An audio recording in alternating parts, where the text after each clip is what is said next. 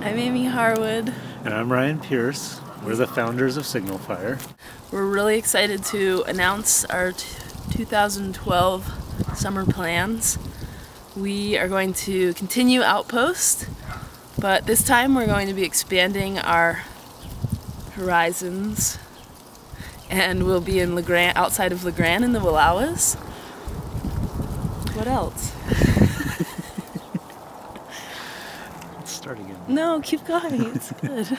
And this year we have a celebrity jury made up of um, writer Matthew Stadler and artists uh, Ryan Wilson Paulsen and Anna Gray and musician Will Helfrich, aka M. Billy, and uh, media artist and professor Julie Perini.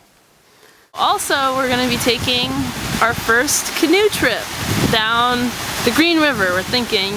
Um, this will be a curated adventure. We're going to invite people to come with us just to test it out so that we don't kill anybody that signed up randomly and don't know us.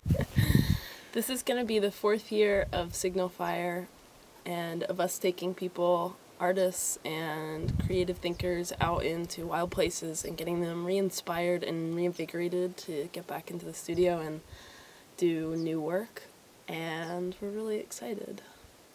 So if you're smart and fun, then you should apply for this and hang out with us. That's so snobby. if you You can be a little bit boring. we just want you to be excited to come out.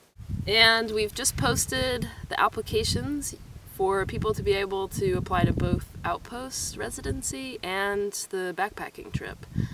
The applications are due on March 15th. so come camping with us.